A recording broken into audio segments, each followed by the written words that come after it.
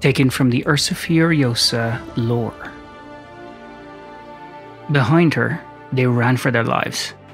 The fallen had descended upon them in such numbers that they were impossible to count. First, it was a skiff, then another, followed immediately by a third, and finally, a full blown ketch decloaked above their position. There were but three of them to protect a hundred who had once been thrice that. Within minutes, it was only her.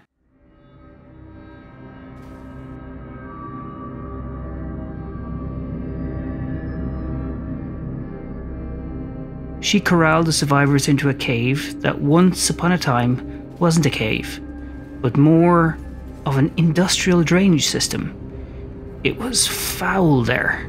The radiation was practically palpable, and the survivors, if they survived this day, would likely find their lives shortened by years, if not decades, thanks to this poisoned solace. She pushed them forward, deeper into the underground, as fast as they could manage. She carried two of the children, both eerily silent and unaffected. They, like their people, had endured more than she could imagine in their 5,000 kilometre exodus. They had given up their homes for the promise of something better, for the promise of hope and light and the strength of the pack. In their quest for better lives, they had lost almost everything. Her ghost told her the bad news. This cave system was a labyrinth extending dozens of kilometers with more dead ends than not. The walls were deeply reinforced, and its scans could see but half a kilometer at best. It was going to be trial and error, and their pursuers were getting closer.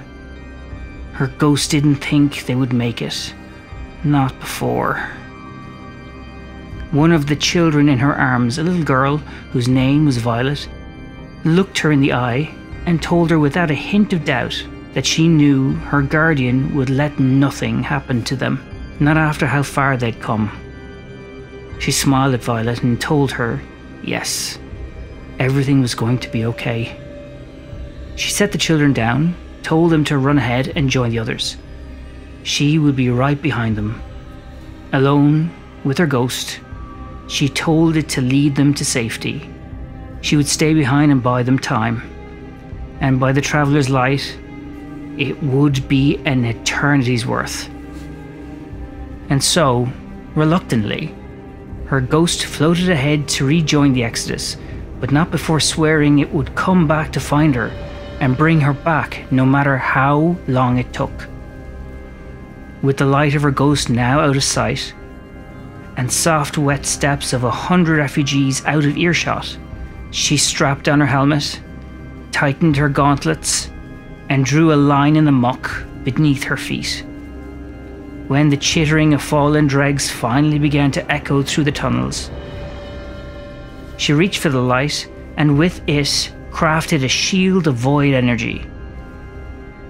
If need be, she would hold this line until the end of time.